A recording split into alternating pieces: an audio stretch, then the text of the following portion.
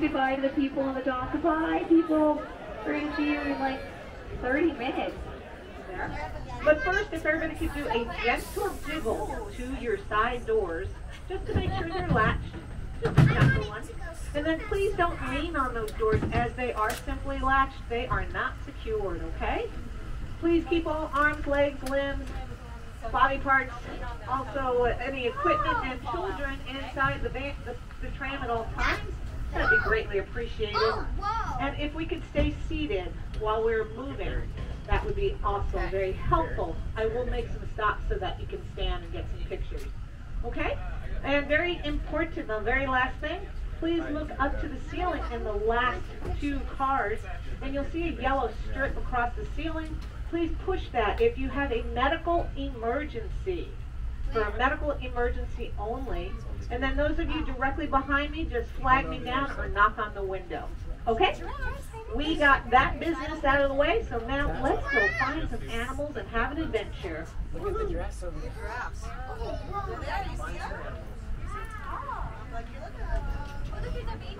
To the right is where you'll find our cheetah. She might be out later. I heard that they were doing some cheetah runs this morning, so they are probably going to be coming back very tired. So you may see them relaxing when you come back.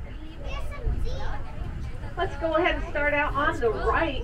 We're going to be coming up on, oh my goodness, this is awesome. On the right, we have a flamboyance of flamingos, and on the left, we have a herd of wildebeest. Oh, I'm going to move up a little bit so we can see on either side. This is so awesome. The wildebeest are rarely on this side, so the, the uh, weather might have something to do with it. Wildebeest are from, you know, as you may know, from the Lion King. They have synchronized birthing, so that means they have babies within the same two weeks, two to three weeks, to make sure that they're ready to go run the Serengeti. And then to the right, we have our flamboyance of flamingos. And these are greater flamingos. They're beautiful. They're a lot lighter in coloration than the um, Caribbean cousins. They live along You want to look over here, buddy?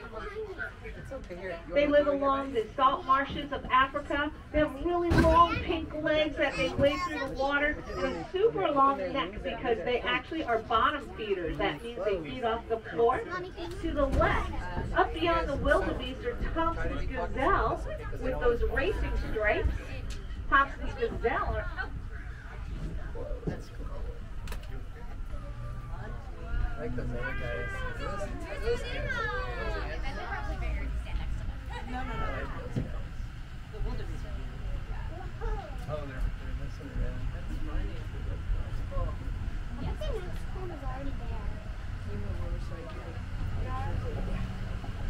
Alrighty, that was our Roosevelt gazelle.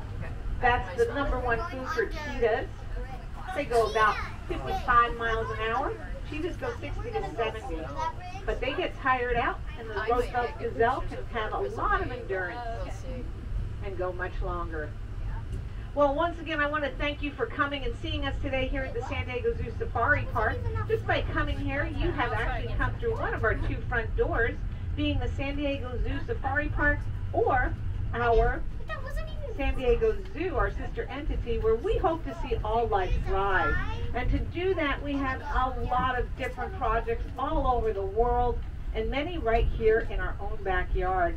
I want to draw your attention to the right. Yeah, we see you see the uh, mule deer out there. That's actually a rhino exhibit that the mule deer just uh, cruising through. It's kind of funny. They live around here. But this is our Nikita Kahn Rhino Rescue Center. The rhinos are actually out on the other side. They get rotated through.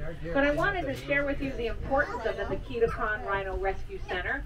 And that is, we are hoping to help the northern white rhinoceros by having the southern white rhinoceros females there become surrogate moms. There are only two northern white rhinoceros left in the entire world, so it's a huge project that we are undertaking and hopefully we will be successful.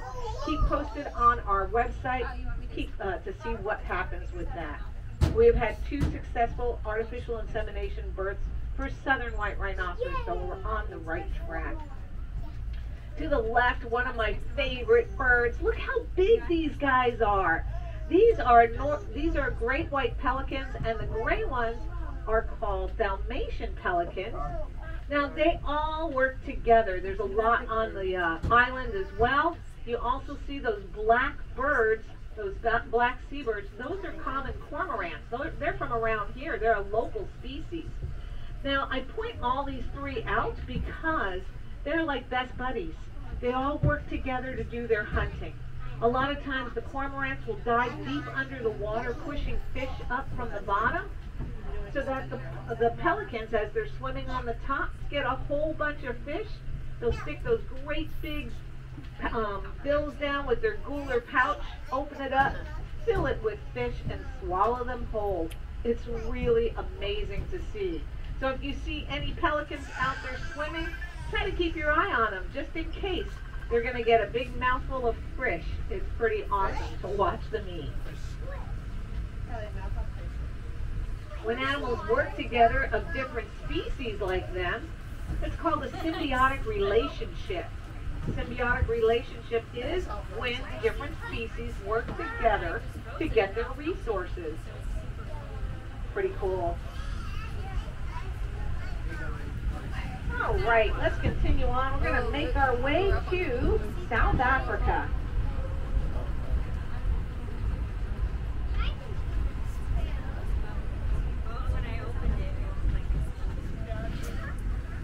That means you didn't get all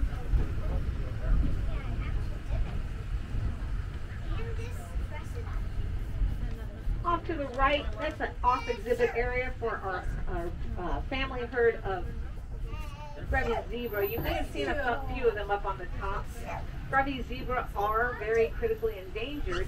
We've actually had 169, no, 129 Grevy zebra foals born here. Pretty amazing to help out with their SSP or species survival plan. To the right, some more of my favorite birds. Look at them all lined up on the on the uh, wood, just against along the fence line there. These are vultures. The brown and white speckled ones are called Rüppell's griffon vultures, and the ones that look like they have a white kind of grayish feathers on the back, those are called cape um, cape vultures. These guys are so cool. They work together as well as a symbiotic relationship. They are the cleanup crew for the entire savannah.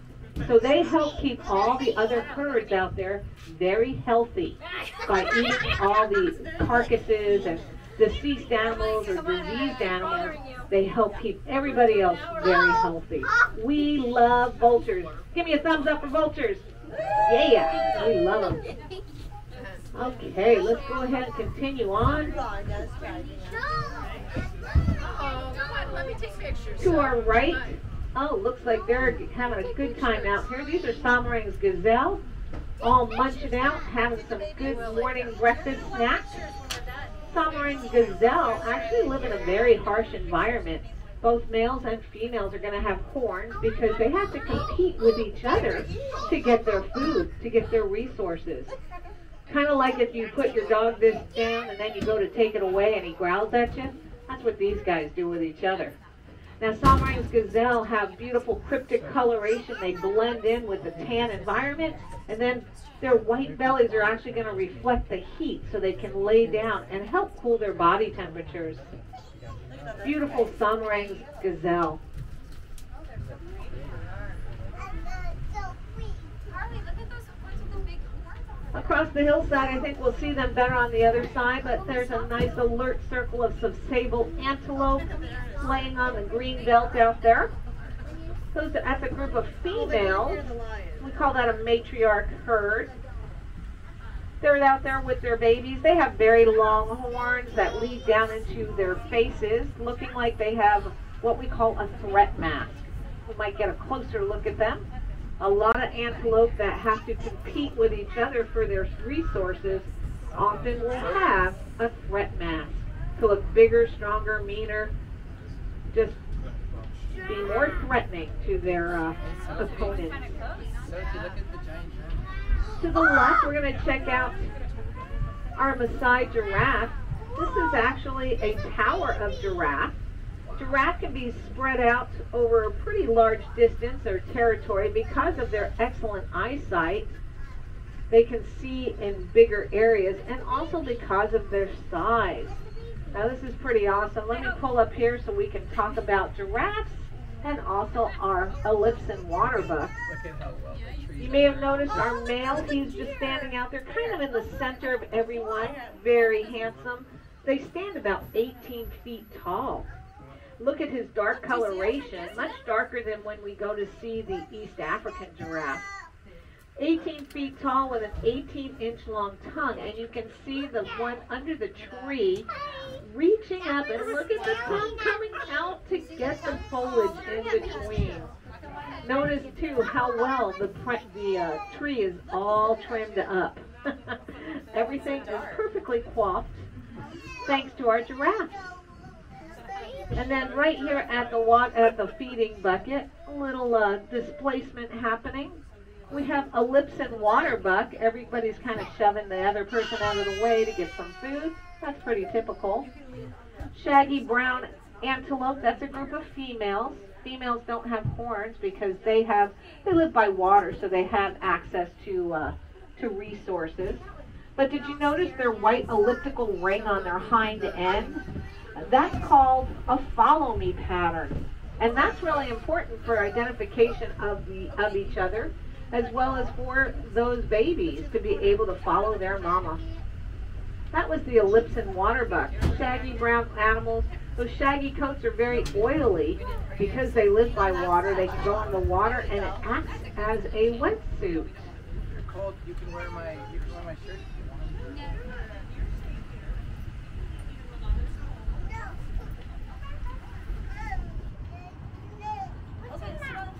To the right, we're going to see a beautiful lavender colored wild equine. These are called Somali's wild ass. Now, as you look at them, they are just gorgeous. Look at their legs.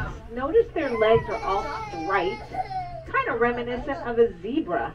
And this is actually their follow me patterns for the Somali's wild ass so that their babies know where their mom is at also critically endangered due to the political unrest in Somalia. And also on the right, we have a handsome, handsome guy. This is Dune.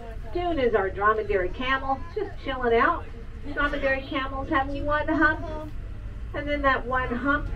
How many people think they store water? How many people think they store fat?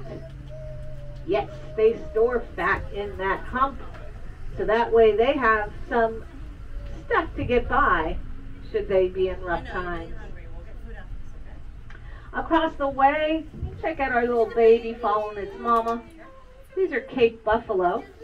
Cape buffalo are thought to be one of the fiercest animals in all of Africa. See what's open and what's And you may not think it because they are bovines, member of the cattle group. But don't let that fool you. They are fierce, they are strong, they are ready to protect their family. Very protective of them, and they're very fearless. Laying down in a group just in front of the herd buffalo, look at those long horns on what they what we call the Gemsbok or Hemsbach oryx. Look at their masks on their face. One of the most beautiful oryxes or antelopes, I think. Those horns that they have are ridged and they're very long. They're about 44 inches in length, which is more than half the length of the chair, the bench that you were sitting on. Isn't that crazy? We're going to leave South Africa right now and head up our way to the forest. Looking down to the left, it's going to be hard, It's kind of tricky between the trees, but I did see Kendi, our male black rhinoceros, along with some young male kudos.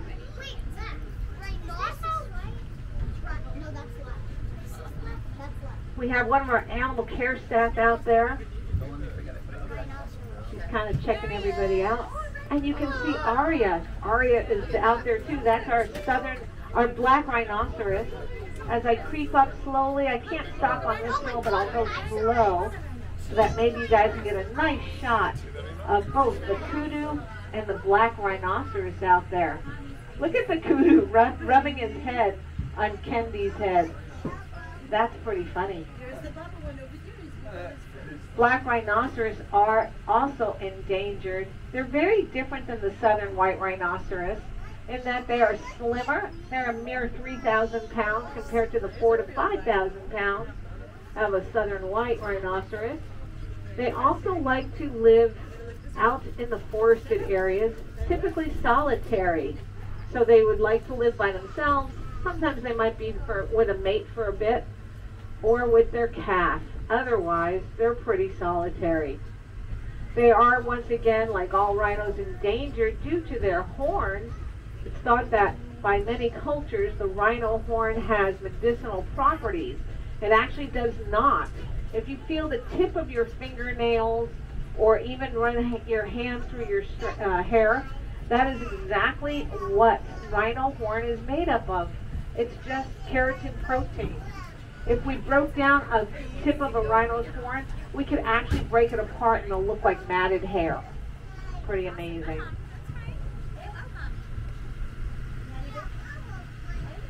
All right, we are making it up this hill.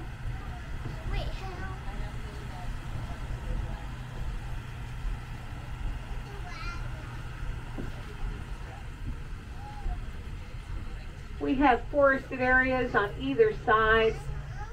To the right, I see our trumpeter swans laying down by the um, tree that's kind of second in along the water. Trumpeter swans are endangered. Look how beautiful they are, and I actually love when they are swimming because they're so graceful. They are endangered, and we are hoping for a for some goslings from this pair. Also out here, let's see, where's everybody else at? They're all probably towards the back. It goes way back there. So let's keep moving so we can find more animals. Those were our trumpeter swans. Really beautiful, graceful birds. And we have a raven right here that just almost hit my truck. there we go. Lots of indigenous animals around her as well.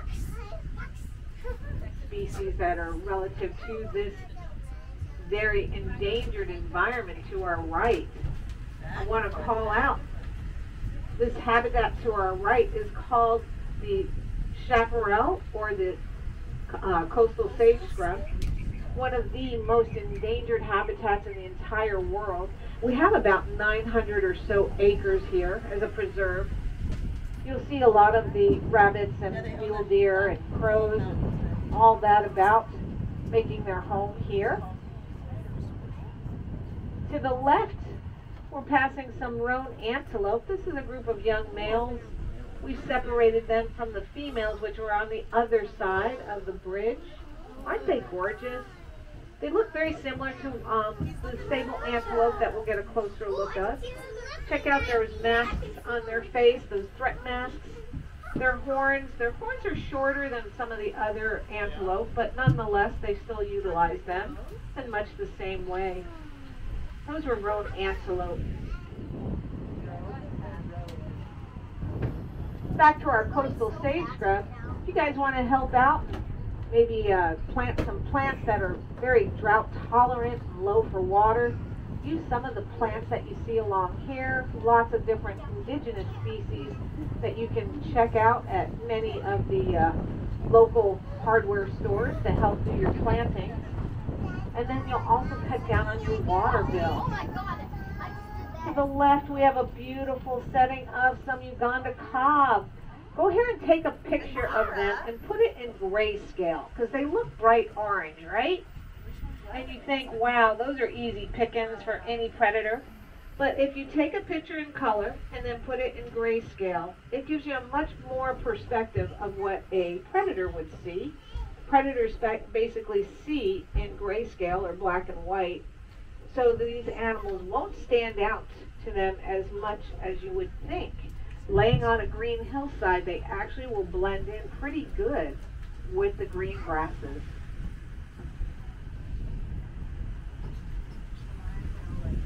Again, to the right, more on our habitat here, the chaparral. It's also home to such animals as the California condor, burrowing owls, and desert tortoises. All of those are critically endangered, and you can go check them out up at our Condor Ridge. Please do. The condors have an eight-foot wingspan. They're extremely majestic, so I think you'll enjoy catching up with them and seeing what the condors are all about. There was only 22 left in the wild back in the 80s, and we have released 1,000 back into their natural habitat. To the left, you can see some Grevy zebras standing underneath the little, by the mushroom huts out there. Some more Uganda kob, and then of course our Cape buffalo still hanging out down below. Grevy zebra, known for their black and white stripes. That's in the effort to help confuse a predator when they are being hunted. If you take your hands and you hold them up and put one over the other and go back and forth, you'll see how you can't find one finger to the other. And that's how their stripes help them disappear or confuse the predator. To the left, we're going to check out springbok. Springbok are what we call the uh, chihuahuas of the uh, of the savannah. Ooh, look at the giraffe laying down too. This is kind of cool. Let me come up here a little bit. See if you guys can get a picture maybe just over that fence of the springbok and the giraffe all kind of hanging out. Pretty cool. Springbok are similar to Roosevelt's gazelle in that they are a favorite of the cheetah. However, they are not related to the cheetah at all. They're completely different antelope, but like the uh, like the uh, Roosevelt's gazelle, they can go 55 miles an hour or so, and out out endurance. Cheetah, they can go. They're little marathon runners. Have the beautiful setting of the giraffe just kind of laying down, taking having a nice day out here.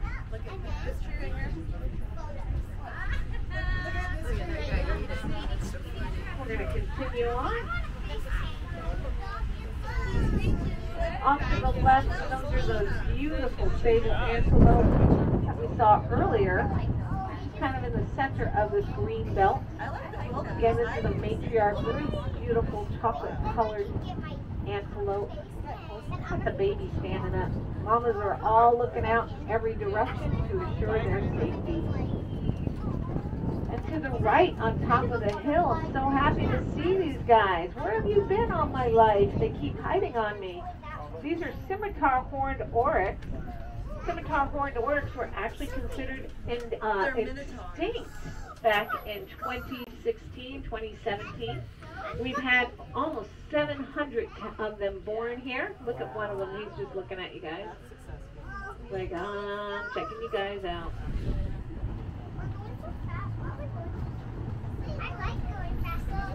All right, let's go ahead and head back towards East Africa. Oh.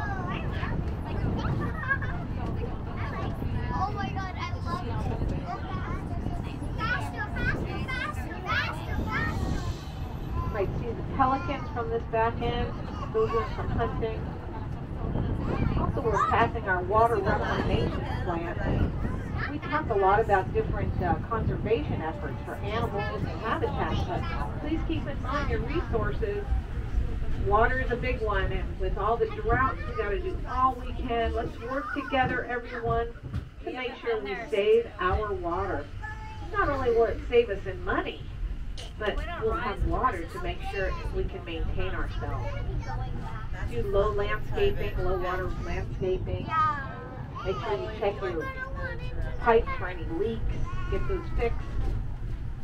And then the blow, turn the water off when you're brushing your teeth, shorter showers. All these things, if we do it together, oh my gosh, you guys, we will be making such a difference. It'll be awesome. Um? Because the gate was closed so many Well, I'm glad we got to see those wildebeest when they were up in the front because I don't see them anywhere. And that's pretty typical. That's the beauty of all these real giant habitats that we have. Animals have the freedom to roam anywhere they want, just as they would in the wild. To the right, you can see some really pretty tricolored, um, charcoal colored gray cranes. These are actually called African, East African crown cranes.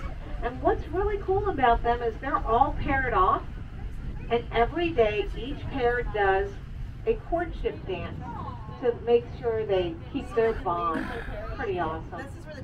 They also have really cool haircuts on top of their heads so that they blend in with this pooky grass. Helps them camouflage when they're standing out in it. And here she is, our little princess, right in the center. I'll pull up here so you guys can get a beautiful picture of this little darling. Are, this is our East African giraffe tower, tower of giraffe. And there's our baby girl. I'm going to stop here so you guys can maybe shoot at an angle in without getting the trees. And then I'll move up again to see if you can get them between the trees.